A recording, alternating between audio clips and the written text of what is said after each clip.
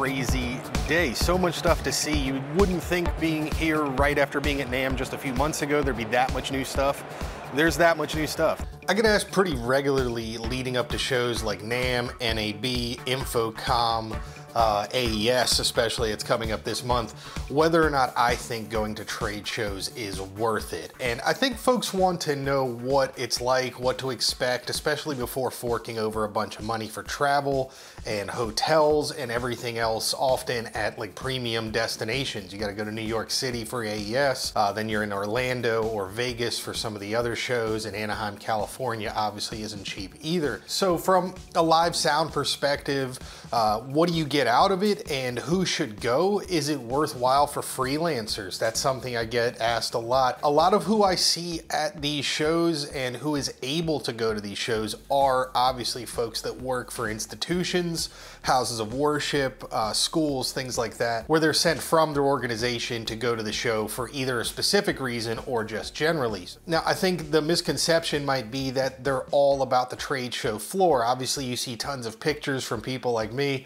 and other folks on social media and from the manufacturers, their booths are a big deal. They spend a lot of money and a lot of time getting those right and making their new products look as good as they can. And that's a lot of fun. Walking around the trade show floor is a ton of fun, but it's hard to justify. If that's all you're going for, the kind of money you spend, uh, especially if you don't live near one of these places, it would be really hard to justify if all you did was walk around the trade show floor and look at the new gear where the real value comes in is the unique uh, experience of each one of these shows of how much stuff you have jammed into one place. Even if you only go for a day, like you're seeing in this video, there's an absolute ton of opportunities to listen to things, to hear things being demoed and used for real. NAMM definitely has a different context to those kind of situations and they have way more live performances just around the show where you'll see a band playing on a stage entirely done up with uh, Nexo and Yamaha gear. And that's kind of cool. And I think that's just the nature of it being a bigger show, a longer show. But getting to see and hear so many different things, things that you may have only ever heard about or read about before, uh, you know, secondhand, different line arrays that you may have heard at concerts, uh, but you weren't quite sure which model they were using or things like that you can walk down a hallway at these shows and hear one after another, after another, after another. So if you are a school or a house of worship or a sound company that's looking to invest in something different and you really want to have a chance to listen to all these things,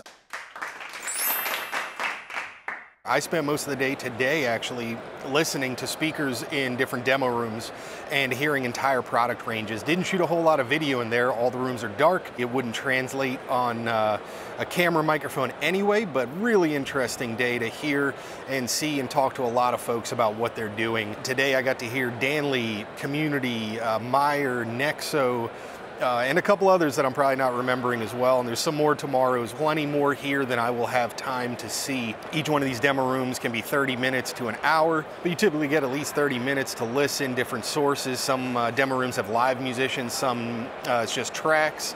Uh, there's some talking, there's music, there's a whole range of stuff. So no matter what you're looking to buy speakers for, this is a really unique uh, opportunity to come and actually hear them all right next to each other in different rooms, but one room right next to the other.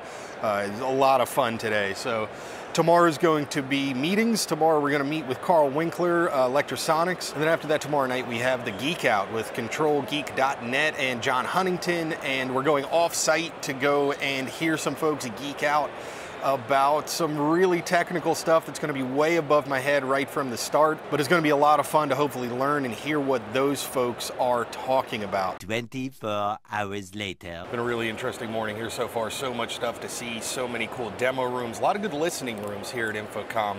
Uh, the listening rooms are much smaller, and a lot of the manufacturers put some soft goods up around because they're really just conference breakout rooms. So I've just been walking around shooting some video and then dropping into those listening rooms uh, to take a listen here and there. So we'll do more of that the rest of the afternoon. A couple of big press conferences coming up here soon, so we'll see what they have to tell us. Other than the scheduled demos, the manufacturers will go out of their way, in my experience, to get you the demo that you want. So if there's something you want to hear or questions you have or some weird context you want to talk about, in my experience, just going to a few shows, they will come in early, they will stay late, they will clear the area and make sure that you get or your team gets the demo that you need. So if you're a school or a house of worship, again, or a sound company looking to spend big dollars on a line array or a sound system upgrade or something of that nature, uh, or a big large format console, instead of trying to organize having all of those products coming through your warehouse or your shop or your school, it might be just much easier to go as a group and kind of get some hands-on time. The manufacturers will do everything they can, in my experience, uh, to make that worth your while. So that's a really good value if you're actually shopping for something specifically. Uh, those demo rooms, those breakouts absolute ton of value there. And as well as a freelancer, if you're used to working like I do, where you show up and use whatever gear might be provided by that company or by the rental company that day, uh, being able to get a little bit of exposure to what's happening this season from each manufacturer, even if you just walk around to their trade show booths and talk to their reps or go around to the demo rooms and have a quick chat after or before each uh, demo if you don't have time to see all of them, uh, can be really valuable just to know what's happening in each line. So you just have that little edge on folks that maybe haven't ever seen uh, the new Meyer stuff before, the new L Acoustics, whatever it is, uh, to be able to at least just get a couple of minutes up close and get the, the key uh, features that they're changing and what's going on and what you should be paying attention to. Hugely valuable for freelancers, companies, and uh, you know people working uh, in formal job settings as well. Just really, really valuable to stay up on the, uh, the latest, even if you don't have a chance to listen critically to everything. Another huge resource that does absolutely make it worth the while to go to these shows are the continuing education seminars workshops, breakouts that happen at pretty much every show now. And AES obviously is a good example of that. If you only went to the trade show floor and missed out on all the seminars and talks, I think it's actually free to just go to the trade show floor this year. Uh, and then you need the membership, the AES membership or the badge or the passes to get into the seminars and talks because that's really where the good stuff's happening. And back at NAMM, you might have seen some footage in previous videos where I got to go and listen to Dave Rat and some of the reps from uh, uh, PowerSoft talking about some projects they're working on together. And you get to sit in a room with, there's about 20 other people there for that one and hear uh, the people that you follow all year long in the industry uh, talk about what they're into and what they're studying and what they're working on, what they're trying to figure out.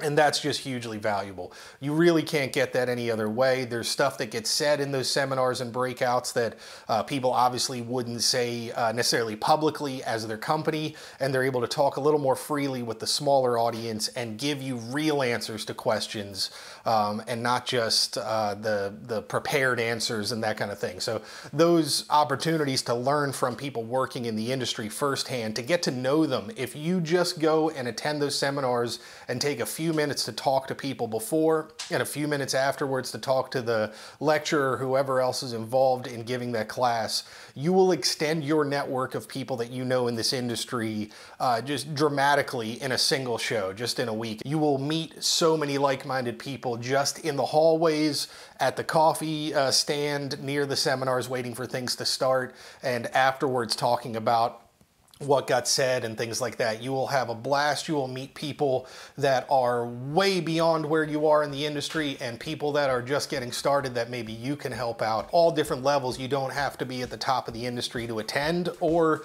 uh, to participate in a lot of these uh, seminars and things. They really are open to everybody and you'll extend your network really quickly. So if you're new to the area, new to the business, new to any part of the industry that you want to get more involved in, go and meet folks in real life. It's really worth the investment. It's worth spending a little extra time and money, and I think you'll get a lot out of it.